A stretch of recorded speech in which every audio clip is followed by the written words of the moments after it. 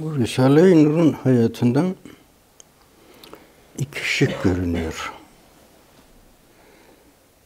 İki şık görünüyor. İşte sonra gelecek o zaman şöyle yapacak, şöyle yapacak, şöyle yapacak. Şunları telif edecek, bunları şey yapacak. Ta hayatın geniş dairesinde hakiki sahipleri yani Mehdi ve talebeleri gelir, hizmeti devam ettirirler. Bunun gibi çok yerler Risale-i Nur'da birbirinin devamı mahiyetinde iki mühim hadise görünüyor. Birisi imanı tahkikinin neşri ve ehli imanı dalaletten kurtarmak. Birisi ve birincisi bu. Ondan sonra Kur'an'ın şakirtleri, Risale-i Nur talebeleri ve Kur'an şakirtleri mi diyor? Ey Risale-i Nur şakirtleri ve Ve Kur'an'ın Kur'an hizmetkarları. Hizmetkarları. Kur'an'ın hizmetkarlarında daire genişliyor. Şekil değişiyor. Orada Kur'an'ın hizmetkarlarının hedefinde doğrudan doğruya içtimaiyet var. Yani Kur'an neleri netice ver, veriyor? Hedefinde neler var Kur'an'ın? Tevhid, nübüvvet, haşir, adalet ve ibadet.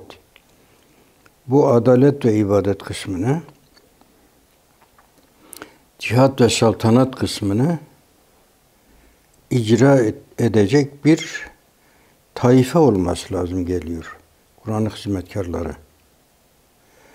Ama öyle bir taife ki bu şahs-ı manevinin azaları durumunda. Yani Risale-i Nur'un dışında değil. Risale-i Nur'dan ayrı bir ceryan değil bu. Risale-i Nur ceryanı ama bir şahs-ı manevinin de azaları aynı aynı bedenin azaları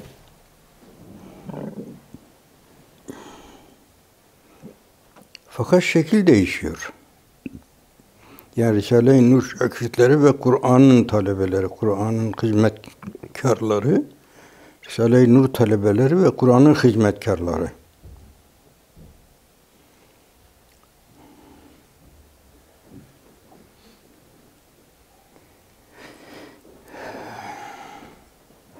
Şimdi bazı şeyler söylenince sanki kendimizi şey yapmış oluyoruz yani bir öne sürme gibi bir şey yok. Öyle bir şey değil yani. Anladığımızı konuşuyoruz.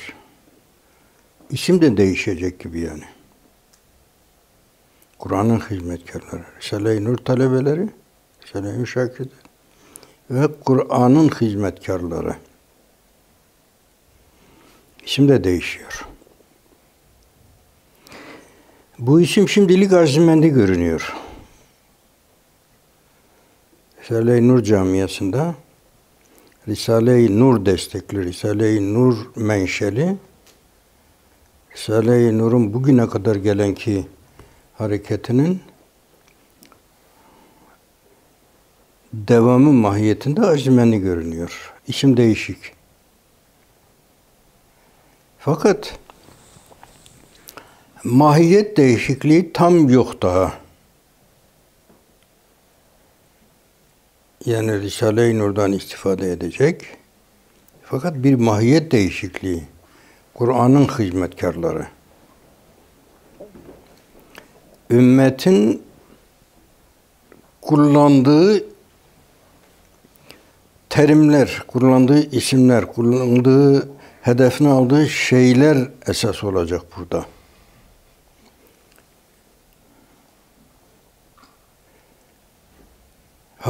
Şey genişliyor yani. Çe- Çember genişliyor. Şimdi bugün ben şeye bir mektup koydum. Kastamonu lahikasından. Binbaşı kimdi? Ha? Muhyiddin. Allah rahmet etsin. Onun bir rüyası.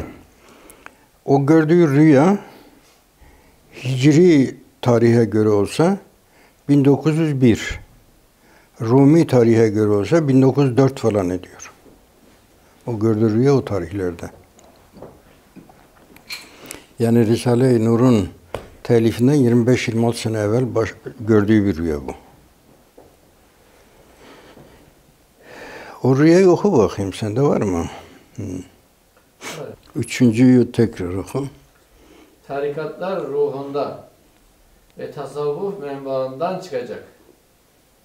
Bir güneştir ki şimdi Şeyh-i Geylani timsaliyle o mana gösterilmiş. Evet bu Azimendiye aynı ayına oturuyor. Bu üçüncü güneş. Bu tabi bu rüyadır netice itibariyle. Bir, ikincisi uzaktan bakmış. Yani rüya sahibi salih, salih bir kimse olduğu muhakkak. Fakat uzak mesafeden, 25-26 sene evvelinden gördüğü bir rüya bu. Tasavvuf menbaından ne diyor? Tarikatlar, Tarikatlar ruhunda, tarikatlar ruhunda ruhundan ve tasavvuf menbaından. Şimdi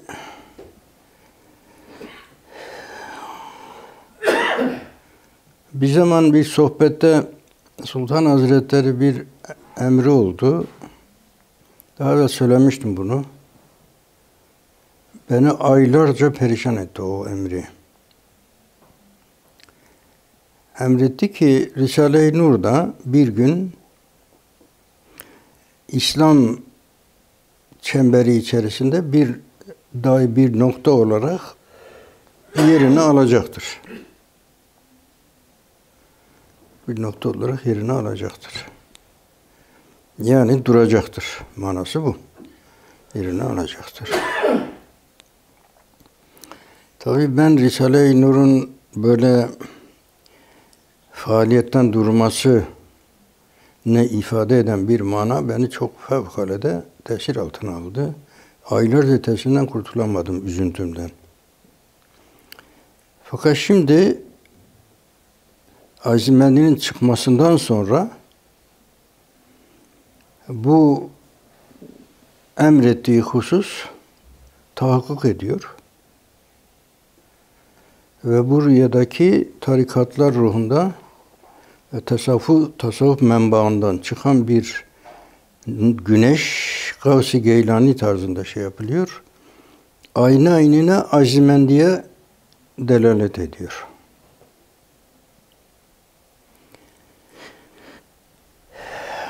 Ama bundan sonraki faaliyeti nasıl olacak? Onu bilemiyorum. Ama kesin olacak bir şey şu ki bugüne kadar gelen Risale-i Nur hizmet tarzından değişik olacak. Şimdi biz kendi kendimize bir iş yapmadığımız için, yapamadığımız için, yapmayacağımız için şu anda yarı yarıya eski hal yeni hal devam ediyoruz. Yani şimdi şu anda e, Risale-i Nur'un kadim geleneği ve Azimendi'nin bazı feyizli olarak ilaveleri o tarzda devam ediyoruz. Ama bunun safi bir şekil alması lazım. Nasıl olacak? Nevi şahsına münasır bir hizmet Risale-i Nur'un yeni bir hizmet tarzının ortaya konulması lazım. Bu nasıl olacak? Tasavvuf menbaından çıkacak. Tarikatlar ruhunda ve tasavvuf menbaından çıkacak. Yani Risale-i Nur'un içerisindeki tasavvuf ve tarikat hakikatlerinin yaşanmasına geçilecek. O manaların şerh edilmesi lazım. O manaların feyiz suretiyle, ilham suretiyle deşifre olması lazım geliyor. Akıl zoruyla değil. Bunların hayata tatbike, tatbikata geçmesi lazım. Bunu bekliyorum. Bunu çok kuvvetli bekliyorum. İhtimal üzere değil yani. acabayla beklemiyorum yani. Olacağına kesin kanaatim olduğu halde nasıl bir şey olacağını bilemiyorum. Bir zuhurat lazım. Olacak. Olacak. Bu olacak ama nasıl olacak? Onu bilemiyorum. Bu rüya aynı aynına üçüncü güneşin Azimendi hadisesi olduğunu ortaya koyuyor.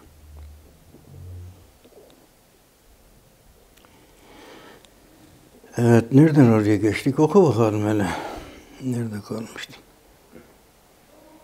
İşte ey Risale-i Nur şakitleri, Evet, buradan geçmiştik. Evet. işte ey Risale-i Nur şakitleri ve Kur'an'ın hizmetkarları. Sizler ve bizler öyle bir insana kamil ismine layık bir şahs-ı manevinin azalarıyız. Şeyin üzerine Allah rahmet etsin.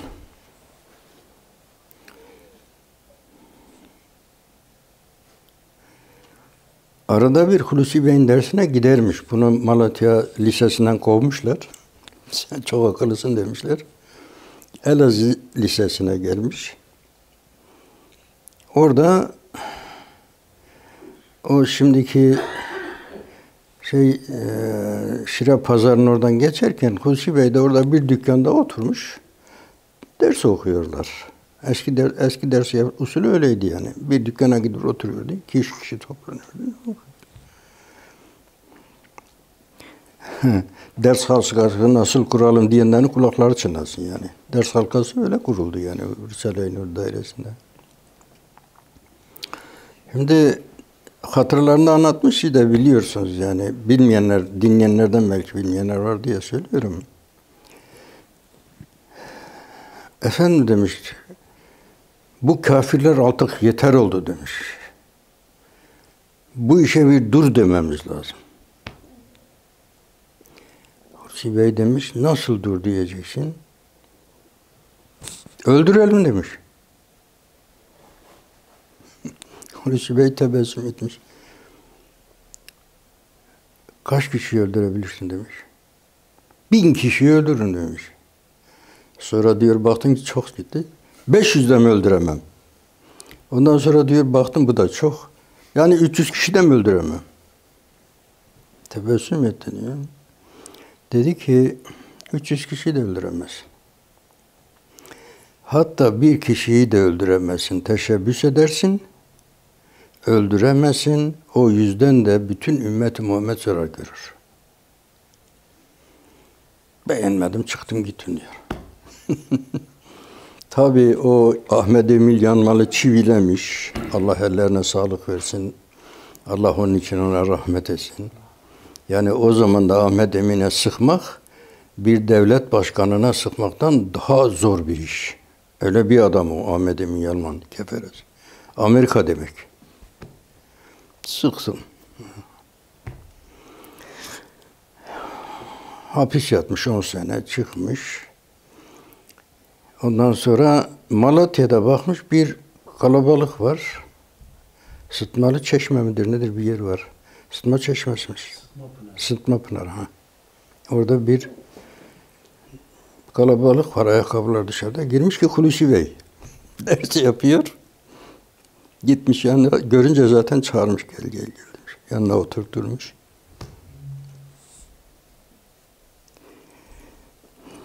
Ne oldu demiş Hulusi Bey. Allah rahmet. Demiş ne olacak demiş. Söylüyorsunuz ama demiş tamamını söylemiyorsunuz ki. Onun için demiş biz de işte şey yapıyoruz. Böyle karıştırıyor ortalığı. Tamamını söylemiyorsun ki demiş. Önce tamamını söyleseydin. Şimdi onun gibi bir gün ders yapılıyor. İkindi dersi yaz. Epeyce cemaat var. Çay molası verildi. Ben de böyle Hulusi Bey'in tam böyle o böyle oturuyor. Ben de böyle buradayım. Başım dizlerine değiyor yani böyle. o kadar yakın. Eğildi kulağıma heleke müstevifun dedi.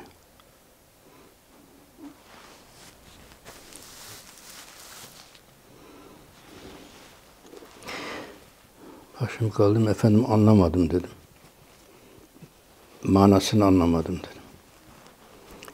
Tehir edenler helak oldu dedi. İyi güzel bir atasözü zannettik biz.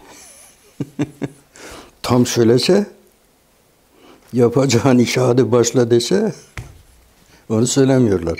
Heleke müstevifun.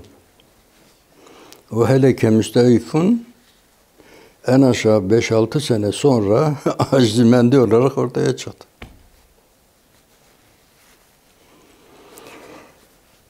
Tabi mübarek zatın desteğiyle oldu bu iş. Bizim Risale-i Nur dairesinde inzivaya çekilmek vesaire bilmem bunlar yas- yasak olan şeyler idi. Ben de inzivaya çekildim. Bile bile prensipleri çiğniye çiğniye ama ihtiyarsız biz zarure, çaresiz eve girdim. Çaresiz. Biraz kaldıktan sonra dedim ya biz ben ne yapıyorum? Gidip Bey'e danışayım hele bu hal nedir?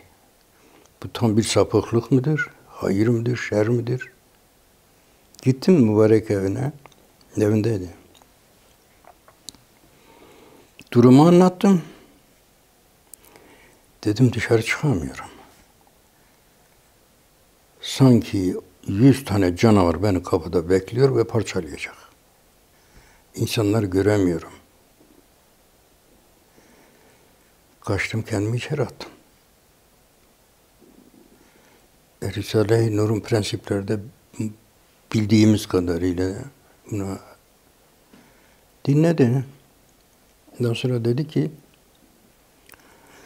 senin halinde Şeyh Efendi, senin halinde Risale-i Nur'un prensiplerine aykırı bir durum yok. Yalnız iki şeye dikkat et dedi. Bir, içeride kalmak için kendini zorlama.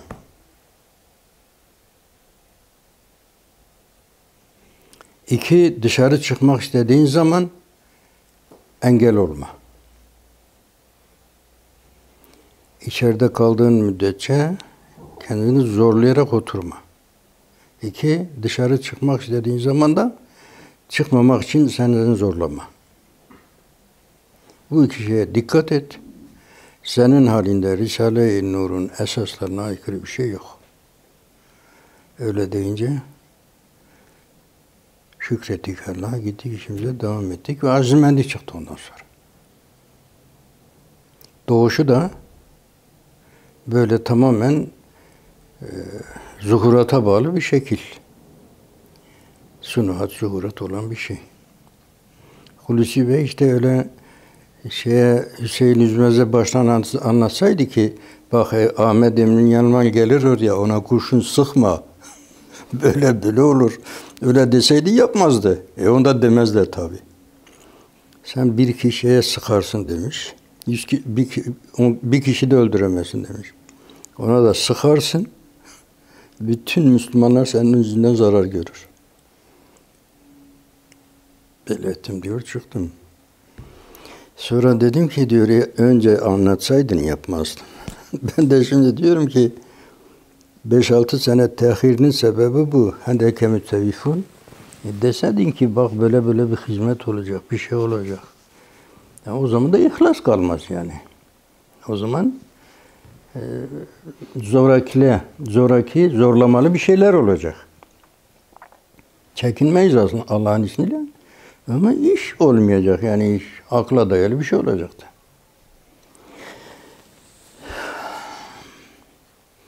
Bu Risale-i Nur şakirtleri ve Kur'an'ın hizmetkarları mı diyor? Evet efendim. Kur'an hizmetkarları tabiri ümmete açık bir şekil. Hususiyetten çıkıyor yani meşrep şeyinden hususiyetinden çıkıyor. Birinci hizmet tarzından çıkıyor. Ümmetin umumuna hitap eden ümmetin umumu da ta- ta- tarikattan anlar. O bin senedir böyle geldiği için ümmetin umumu öyle mes- meslekten, meşrepten anlamaz. Tarikattan anlar. Ve tasavvufi ilimlerden anlar. Islah edici, kalbi kalbi hali ıslah edici, temizleyici, ilahi nefsi tatil edici bunlar yerleşmiş alemi İslam'da. Bu bir mütarife haline gelmiştir. Terbiye ise böyle olur. Bu yerleşmiş. Fıtratı zorlamayla bir şey olmuyor. Risale-i Nur'da da bu malzeme ağzına kadar dolu. Yani sırf Mesne-i Nuriye'yi alsan alemi dolduracak kadar tasavvuf var orada. Sırf Mesne-i Nuriye. İşte tarikatlar menbaından ve tasik, tari, ta- tasavvuf ruhundan çıkacak bir güneş. Bu azimendi. Artık yani bizim bu il- ilmi hakikatlerden ne tevazuya hakkımız var ne tekebüre hakkımız var. Bizimle alakalı değil bu işler. Biz bildiğimizi anladığımızı söyleriz. Kim ne isterse öyle anlasın. Evet. Buyur devam et. İşte ey Risale-i Nur şakirtleri ve Kur'an'ın hizmetkarları. Sizler ve bizler öyle İkiye ayırıyor yani ikiye ayırıyor. Sizler ve bizler. Sizler ve bizler neyiz? Öyle bir insanı kamil ismine layık bir şahs manevinin azaları. Ha. Hem sizler ve bizler hem de bir vücudun azalarıyız. Çok garip. Hem sizler ve bizler bir ayrı, bir ayrı ayrı grup bir şekil var. Fakat aynı vücudun azalarıyız. Şu insan-ı bir vücudun azalarıyız. Ha. Ve hayat-ı ebedi içindeki saadet-i ebediye netice veren bir fabrikanın çarkları hükmündeyiz. Ve sahili selamet olan Darüsselam'a ümmete Muhammediye'yi aleyhissalatu vesselam çıkaran bir sefine-i Rabbaniye'de çalışan kademeleriz.